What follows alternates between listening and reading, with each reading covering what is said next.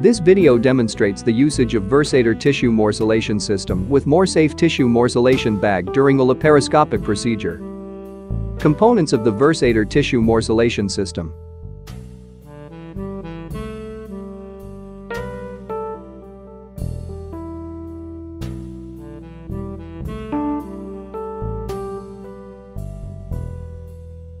Versator Drive Unit, VDU.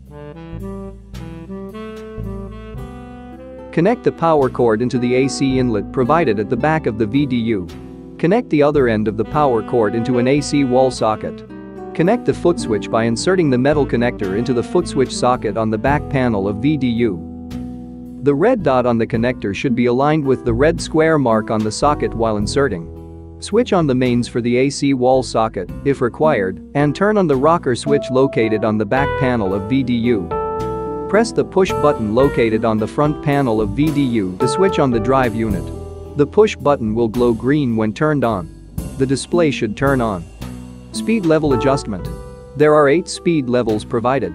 By default, the VDU is set at speed level 1 when turned on. The user can adjust the speed level required for respective procedure by tapping the up or down arrow key on the front of the VDU. Blade rotation direction selection clockwise or anti-clockwise cutter rotation may be selected by tapping on the direction key on the front of the VDU.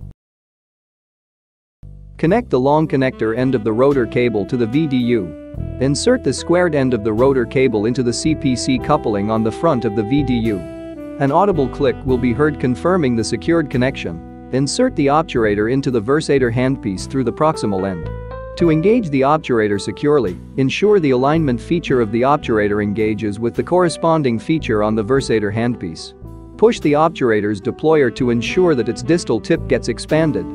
The Versator system is now ready for use. MorSafe bag removal from sterile packaging. Open the sterile packaging of MorSafe tissue morcellation bag and place the contents in a sterile area. Salient features of the MorSafe bag.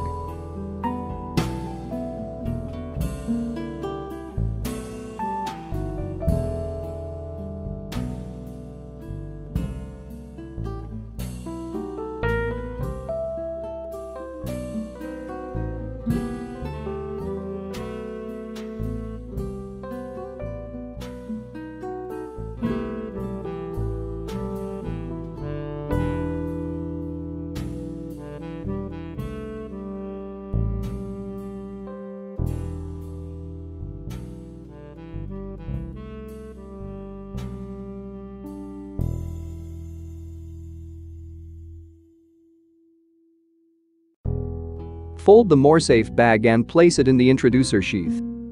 Ensure that the folded bag is slightly beyond the tip of introducer sheath. This will enable the surgeon to pull the morcellation bag out of the introducer when it has been placed into the abdomen. Remove the trocar from the instrument port. Increase the incision size to allow insertion of a 15 mm morcellator through it. Introduce the MorSafe bag through the incision. Morcellator port. Insert an atraumatic grasper into the assistant port and pull the MorSafe bag into the abdominal cavity. Simultaneously, the introducer sheath can be withdrawn. Unfold the MorSafe bag and manipulate the large opening of the MorSafe bag using the atraumatic grasper. Grasp the tissue to be morcellated and place it inside the MorSafe bag. Using the atraumatic grasper, close the larger opening by grasping the opening rim from the center. Pull larger opening out of the abdomen through the morcellator port. Using the atraumatic grasper through the assistant port, locate the tail end of the MorSafe bag. Pull out the tail end of the MorSafe bag through the camera port following the railroading technique. Once the tail end of the MorSafe bag is out of the body, insert the 10mm trocar through a small opening provided on the tail end of the MorSafe bag. Insert the endoscope through the trocar. The scope will then be inside the MorSafe bag. Insufflate the MorSafe bag to visualize the tissue inside the bag. Insert the Versator morcellator through the large opening of the MorSafe bag. Ensure Versator blade is in the off position while inserting. Pull the obturator's deployer and remove the obturator from the Versator handpiece.